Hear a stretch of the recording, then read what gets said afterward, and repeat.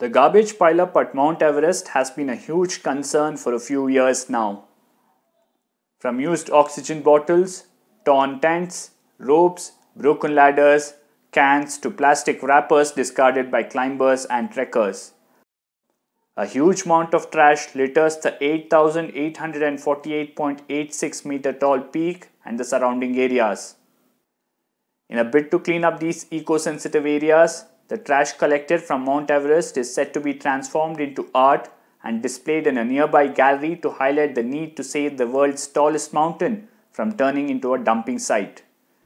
Foreign and local artists will be engaged in creating artwork from waste materials and train locals to turn trash into treasure. त्यो गर्ने बित्तिकै यो अझै बढी tourism पनि भित्रियोस् at the same time waste पनि manage होस् plus the initiative is त्यहाँ आउने एउटा इन्करेज मिलोस् भन्ने उद्देश्य पनि हो the initiative is being run by Sagarmatha next centre visitors information center and waste upcycling facility. The center is located at an altitude of 3,780 meters at Syangboche on the main trail to the Everest Base Camp. Products and artwork will be displayed to raise environmental awareness or sold as souvenirs with proceeds going to conservation of the region. Trash brought down is handled and segregated by a local environmental group, the Sagarmatha Pollution Control Committee, but the task in a remote region that has no roads is a huge challenge.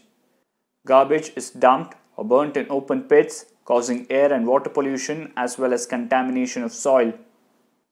Under a Carry Me Back initiative, each returning tourist and guide will be requested to take a bag containing 1 kilogram of garbage back to the Lukla airport from where the trash will be airlifted to Kathmandu.